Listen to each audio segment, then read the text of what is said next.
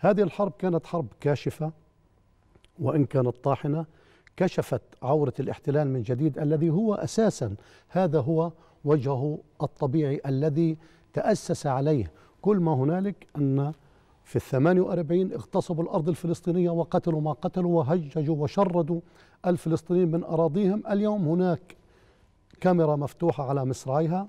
هناك صورة فضحت هذا الاحتلال. هذا الاحتلال الذي تضامن بعضه معه بعض دول الغرب وفي مقدمتهم الإدارة الأمريكية هو ذاته الذي كشف عورات هذه الدول أمام حتى شعوبها وأدى إلى الاندفاع الكبير في الجماهير.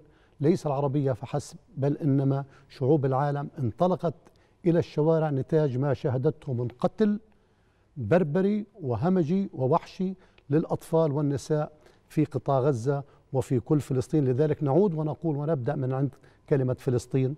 غزة جزء من فلسطين. صح. نعم دفعت الثمن لكن يجب أن تحل القضية الفلسطينية وفق مؤتمر دولي للسلام.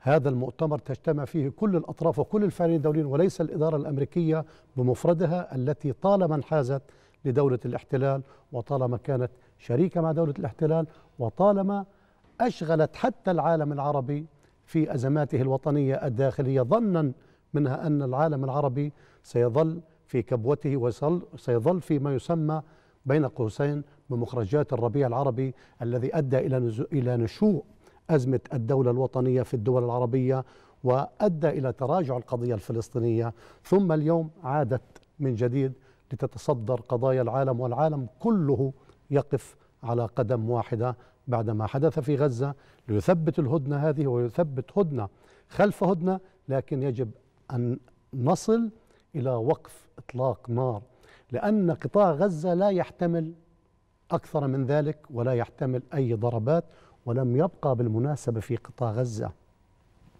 أي شيء يستطيع نتنياهو وحكومته. ولا تحتمل الضرب أصلا.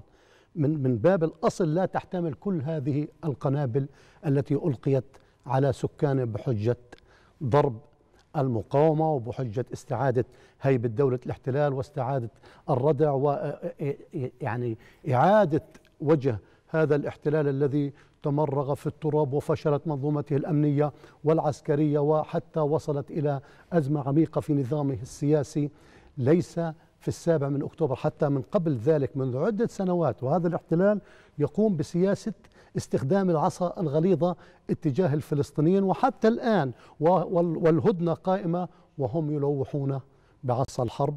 والآن الطائرات بالمناسبة آه، يعني تنتشر في سماء قطاع غزة وكأنهم يريدون أن يحصلوا على هدنة مشترطة بقوتهم وليس مشترطة بالقانون وبأصول الوسطاء الذين دخلوا وأنجزوا هذه المهمة الصعبة. وهنا اسمح لي من على منبر شاشتكم الكريمة أن أحيي مصر الكبرى التي استطاعت أولا أن توقف ما كان يخطط له نتنياهو واستطاعت أن توقف أيضا ما كان حتى تخطط له الإدارة الأمريكية حينما لوحت بعصاها أيضا إلى المنطقة العربية وحركت أسطولها في المتوسط في خطوة منها لكي تقول للعرب لا تتدخلوا في ما يجري في غزة لكن مصر قالت لا ولا ولن يترك الشعب الفلسطيني لوحده ورفضت أن يهجر الفلسطينيين من على هذه الأرض ورفضت إعادة إنتاج النكبة الفلسطينية التي